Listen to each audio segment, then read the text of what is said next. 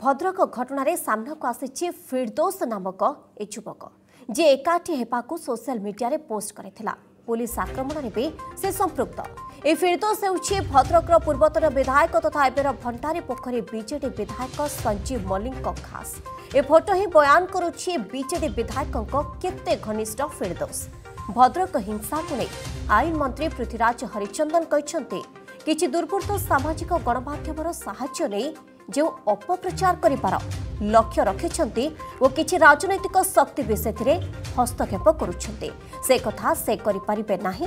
ଭଦ୍ରକରେ ଶାନ୍ତି ଫେରାଇ ଆଣିବା ପାଇଁ ପୋଲିସ ପ୍ରଶାସନ ଉଦ୍ୟମ ଜାରି ରଖିଛି।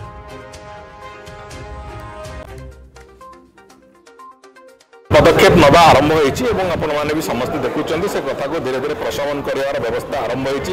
କିଛି ଦୁର୍ବୃତ୍ତ ସବୁ ଜାଗାରେ ଯେଉଁ ସାମାଜିକ ଗଣମାଧ୍ୟମର ରାସ୍ତା ଦେଇକି ବିଭିନ୍ନ ପ୍ରକାର ଅପପ୍ରଚାର କରିବାର ଯେଉଁ ଚେଷ୍ଟା କରୁଛନ୍ତି ଏବଂ କିଛି ରାଜନୈତିକ ଶକ୍ତି ବି ସେଥିରେ ମୁଣ୍ଡ ଖେଳାଉଛନ୍ତି ସେଥିରେ କେମିତି ବିଶୃଙ୍ଖଳା ବିଭିନ୍ନ ଜାଗାରେ ସୃଷ୍ଟି ହେବ ବୋଲି ସେ କଥା ସେ କରିପାରିବେ ନାହିଁ।